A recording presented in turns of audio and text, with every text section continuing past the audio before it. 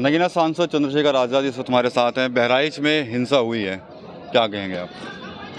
किसकी वजह से हुई है? हिंसा कब होती है?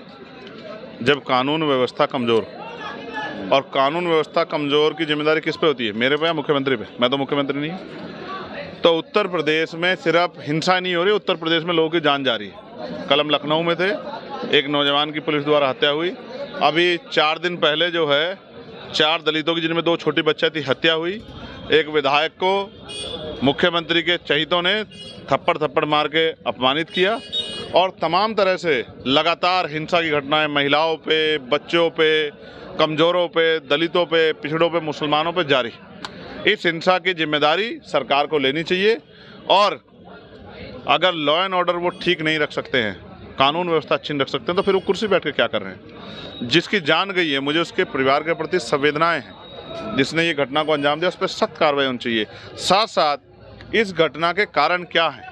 किन कारणों की वजह से? उसके भी जाँच करने चाहिए, क्योंकि लगातार लंबे समय से देखा जा रहा है, चाहे गाजियाबाद से हो, कहीं से हो, कि एक वर्ग को उकसाने का प्रयास किया जा रहा है, जिससे कि वो कोई घटना करे और क्षेत्र, प्रदेश का माहौल बिगड़े। और ये नहीं होना चाहिए।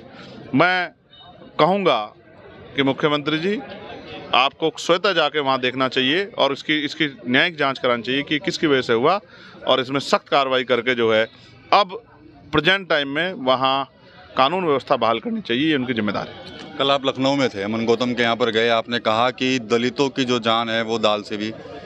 मैं इसमें और कुछ ऐड कर देता हूँ सिर्फ़ दलितों की नहीं पिछड़ों की मुसलमानों की किसानों की महिलाओं की जान यहाँ जो है वो दाल से सस्ती हो गई है क्योंकि उत्तर प्रदेश की कानून व्यवस्था मुख्यमंत्री से संभल नहीं रही है। और कहते हैं डबल इंजन की सरकार है मुझे तो सिंगल की भी नहीं लग रही है। अभी आप वहाँ पे बातचीत कर रहे थे मीडिया से कह रहे थे कि इस्तीफा दे देना चाहिए। मैं तो कह रहा हूँ अगर कोई व्यक्ति अपने पद के अनुसार कार्य नहीं कर पा रहा तो उसको नहीं अधिकार है कुर्सी बैठने का नैतिकता के आधार पर उनको इस्तीफा दे देना चाहिए।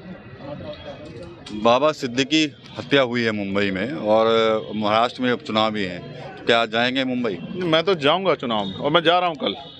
लेकिन मैं आपसे कह रहा हूँ कि अगर इतने बड़े नेता की उद्योगपतियों की सरेआम हत्या हो रही तो क्या कानून व्यवस्था है? फिर मेरे जैसे गरीब के बेटे की तो कभी भी हत्या हो सकती है? जो संघर्ष कर रहे हैं उनके साथ तो कुछ भी हो सकता है?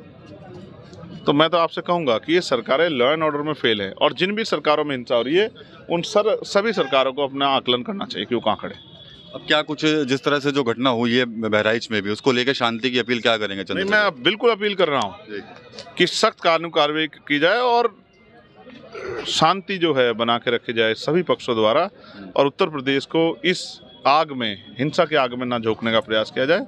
मैं ये सभी पार्टियों से कहूँगा कि वो राजनीतिक लाभ नुकसान को छोड़ के प्रदेश की कानून व्यवस्था रहे, इसकी तरफ़ ध्यान दें।